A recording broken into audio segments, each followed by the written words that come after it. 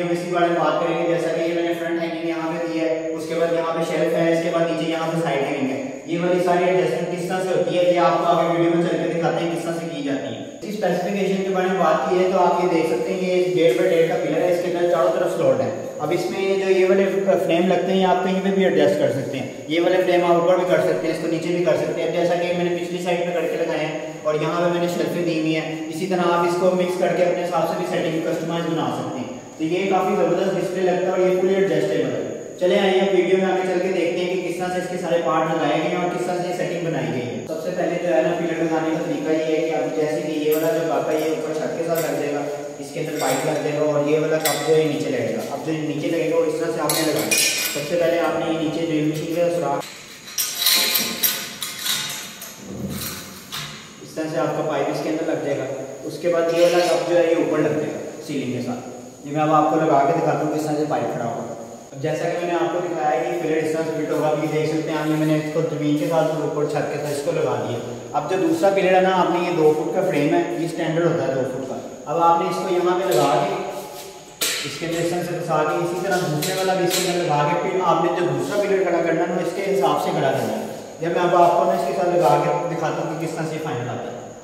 ये दोनों पिलर इस तरह से खड़े करने के बाद ये देख सकते हैं कि इसके अंदर इस तरह से ये फ्रेम लगा अब मैं बाकी भी आपके पास लगा के दिखाता हूँ किस तरह से ये सारे लगते हैं। यहाँ पे तकरीबन मेरे पास ये बारह फुट जगह है तो मैं यहाँ पे तकरीबन छः पिलर लगाऊँगा इस तरह के। उसमें मैं आपको सेटिंग बना के दिखाऊँगा। मैं ये बाकी भी लगा के दिखाता हूँ किस तरह से लगेंगे मैंने तीन पिलर लगा दिए मैं इसी तरह यहाँ तीन पिलर और लगा के आपको इसकी फाइनल लुक दिखाता हूँ किस तरह से आती है। उसके बाद मैं इसके ऊपर आपको डिस्प्ले करके दिखाऊँगा। आप ये देख सकते हैं, मैंने पिलर इसके खड़े कर दिए और ये मैंने एच वन भी लगा दी जगह जगह पे। अभी मैं इसको एडजस्ट करता हूँ। मैं यहाँ पे ना शेल्फे डालना चाहता हूँ ये सेंटर में ना मैं आपको शेल्फे डाल के दिखाता हूँ। अगर आपके पास तरह पिलर लगे तो आप इसके सेंटर में शेल्फे डाल सकते हैं। अब इसमें ये वाली पैकेट आपको मिल जाएगी, इसके पीछे ये चार स्लॉट लग के बने हुए। ठीक है, आपने इसको यहाँ पर घुसा के इस तरह से, अब इसके ऊपर इस तरह से ये शीटें आप दो दो फुट के फासले पर कटवा लें तो ये आप इसके अंदर इस तरह से लगा ये इस तरह से आपकी ये फाइनल कर अब मैं आपको ना बाकी इसके ऊपर डिस्प्ले तैयार करके दिखाता हूँ, किस तरह से बनेगी सेटिंग और। अब जैसा कि मैंने यहाँ पे शेल्फों का भी आपको बता दिया अब जहाँ पे मैंने फ्रंट हैंगिंग करनी है ना, वहाँ पे अब ये वाला फ्रेम जो है ना, मैं पिछली साइड से लगाऊँगा। ताकि जो है ना, उसकी हैंगिंग जो है वो आप काफ़ी अच्छी लगेगी आपको, ये लगने में फ्रेम काफ़ी ज़बरदस्त लगता है। ये इस तरह से ये अंदर वाली साइड से फ्रेम लग जाएगा अब जो ये रॉड है, ये आप इसको, अब ये रॉड जो है, यहाँ से लग जाएगा अब इसके ऊपर आपके कपड़ों की फ्रंट हैंगिंग हो जाएगी। और इसी में अगर आप यहाँ पे साइड हैंगिंग करना चाहते हैं तो यही वाले फ्रेम के ऊपर आपकी साइड हैंगिंग भी हो जाएगी अब मैं आपको करके दिखाता हूँ, किस तरह से इसके ऊपर बनेगी। अब आप ये देख सकते हैं, मैंने ऊपर फ्रंट हैंगिंग वाले कर दिए दो इधर, दो उस तरफ़ कर दिए।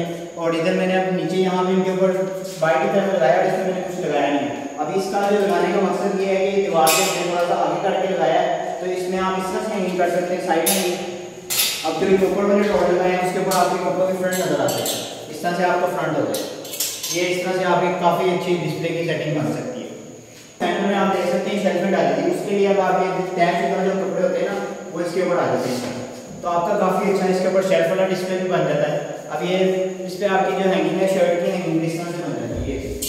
तो ये आपका फ्रंट हैंगिंग का डिस्प्ले पे काफ़ी अच्छा रहता है। इसी तरह अगर आप नहीं फ्रंट बनाना चाहते तो ये आप सारा साइड हैंगिंग कर सकते हैं इस फ्रेम का। आप देख सकते हैं मैंने इसकी साइड सेटिंग बना दी और ये फाइनल होगा अब ये एडजस्टेबल आप इसको कहीं पे भी अपनी मर्ज़ी से एडजस्ट कर हैं जैसा कि मैंने आपको डिस्प्ले तैयार करके दिखाया, अब आपके पास अगर खुली जगह है तो वहाँ पे आप इस तरह स्टैंड भी रख सकते हैं।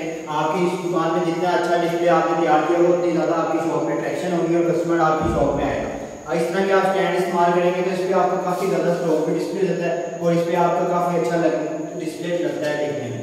आप सबका वीडियो देखने का बहुत शुक्रिया। अगर आप नई से नई पैकेज से अपडेट रहना चाहते हैं मजीद अच्छे से अच्छी वीडियो देखना चाहते हैं तो आप हमारे चैनल को सब्सक्राइब करें। उसके अलावा बेल आइकन उसे भी दबाएँ, ताकि हमारी वीडियो की नोटिफिकेशन आपके पहले पहुँच सके।